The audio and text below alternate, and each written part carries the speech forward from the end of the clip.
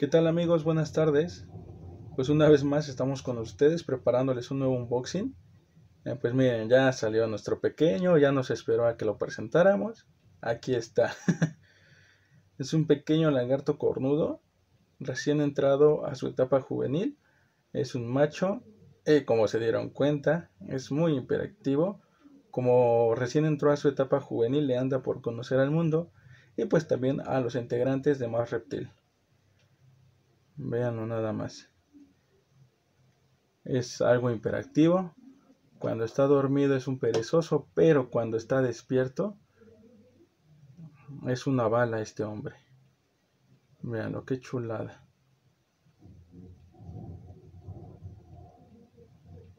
Quiere explorar, quiere conocer al mundo. Dijo, yo ya no aguanto, yo ya quiero salir, quiero conocer a los suscriptores. Y aquí está, nos aguantó a la presentación. Aquí está conociéndolos. Vean nada más. Chuladita. Además de que adulto, ya de adulto llega a medir unos 15 a 20 centímetros, dependiendo sus cuidados. Y pues más o menos te llega a medir, eh, de adulto te llega a medir lo de tu palma de tu mano. Entonces pues no es tan, no es tan, tan grande, no ocupa un espacio tan grande. Veanlo nada más, qué chulada. Bueno amigos, pues es todo por el momento. Solamente es un pequeño review de este video. De este animalito. Y pues nos despedimos para hacerles el video de sus cuidados básicos y cómo hacer un buen terrario, un buen encierro para este pequeñín. Bueno, pues nosotros ya nos adelantamos en ir a conseguir esta urna, ¿vale?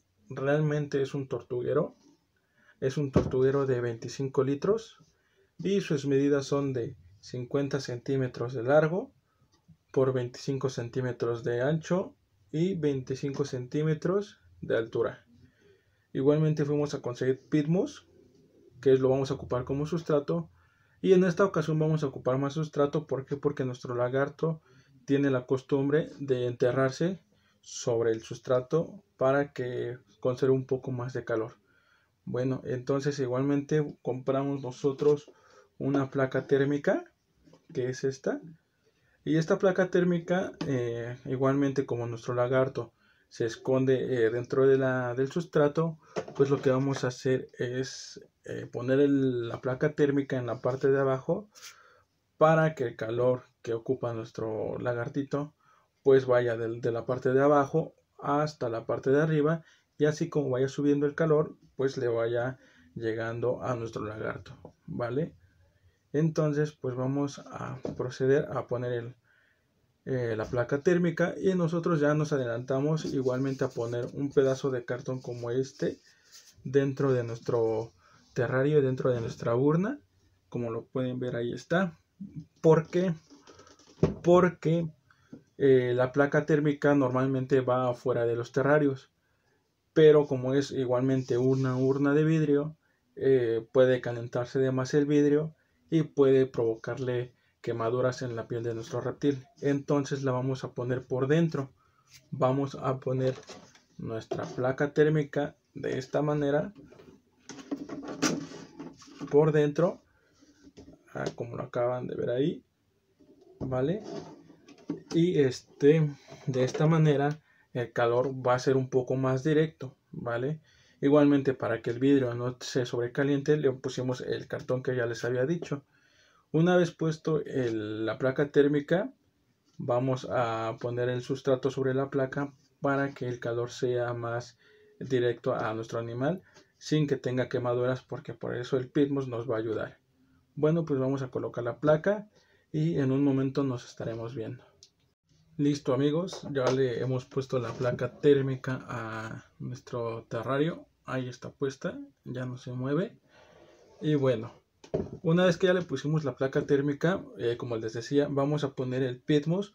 Parte del pitmos lo vamos a poner dentro eh, sobre la placa para que este, no sea directamente el calor, eh, no sea directamente a nuestro lagarto cornudo.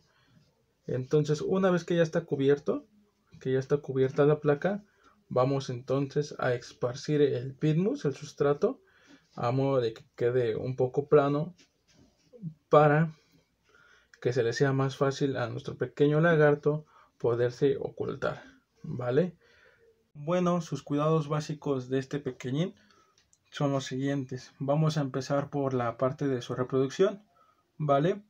La reproducción, eh, bueno, los machos eh, pelean entre ellos para que puedan cortejar a la hembra. Una vez que la hembra ya es cortejada y ya hicieron su, su apareamiento, entonces la hembra va directamente a buscar dónde hacer su nido. Después de que escoge el lugar, vean cómo se entierra, es lo que les decía. Bueno, después de que la hembra va a buscar dónde hacer su nido, hace el nido, pone la puesta de los huevos, que más o menos eh, va entre de 10 huevos a 30 huevillos, ¿vale? Entonces, ya una vez que los pone, hace la liberación de los huevos y eh, los empieza a cubrir con arena o con tierra, ¿vale? ¿Esto para qué? Para que los huevos eh, tengan calor y puedan hacer su procedimiento para que las crías se puedan dar. Bueno, una vez que la hembra hace la puesta, una vez que ya los cubre, se retira. La hembra se retira y ya no vuelve a regresar al nido. Esto es algo curioso porque no todos los animales eh, de varias especies en general hacen esto. Entonces, de los reptiles que hemos tenido aquí, de los animales que hemos tenido aquí en Más Reptil, tanto Fernando como yo, pues no, no, este es el primera, la primera especie que nos toca que la hembra eh, después de la puesta se retira y ya no vuelve al nido. Entonces, pues es algo curioso. Bueno, su alimentación, eh, su alimentación va desde hormigas, hormigas rojas, no cualquier hormiga, comen hormigas rojas, pueden comer tenebrios, eh, pueden comer sofobas. Eh, los tenebrios son unos pequeños gusanitos que pues son unos gusanitos delgaditos, ¿vale? Y las sofobas igualmente son gusanos, vean ya ahí se está enterrando el pequeñín.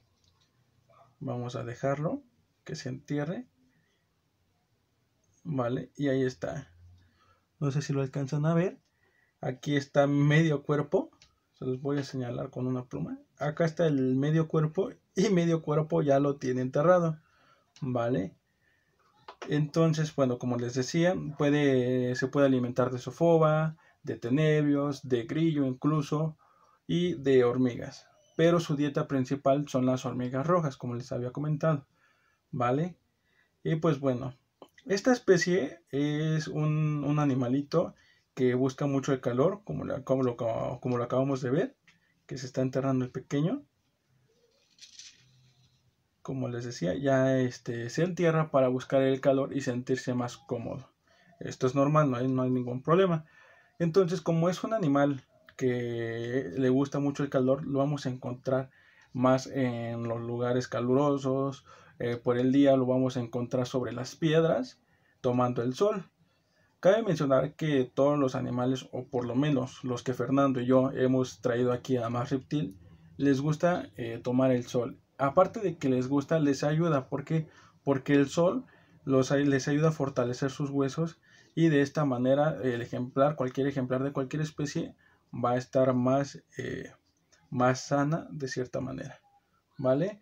Y bueno, hablando del lagarto cornudo que ya de plano ya se enterró, este ejemplar está en la parte desértica de Sonora, es decir, está en el desierto de Sonora, pero igualmente lo podremos encontrar en zonas montañosas, no hay ningún problema. Y este ejemplar, el lagarto cornudo, soporta mucho el calor. Como es un animal semidesértico, eh, eh, soporta las temperaturas altas del calor. Igualmente en las noches soporta unas eh, temperaturas un poco bajas, no tanto, un poco bajas de la temperatura por la noche. Entonces es un animal como para principiantes es muy, es muy buen animal, pero sin embargo sí es de tenerle paciencia y si tú quieres un ejemplar que lo puedas, que lo puedas lucir, que lo puedas ver, no te lo recomiendo, ¿por qué? Porque como lo acabas de ver, él está más escondido, ¿vale? Así que no, este, si quieres un animal para, para enseñar, para estar a la vista, pues no, no sería este como que el correcto. Estos fueron los cuidados básicos de este pequeñín.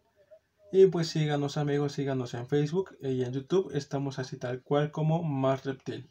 ¿Vale? Un enorme abrazo y que tengan una bonita tarde. Recuerden seguirnos, darle like a Facebook y a YouTube para que tengamos más material. ¿Vale?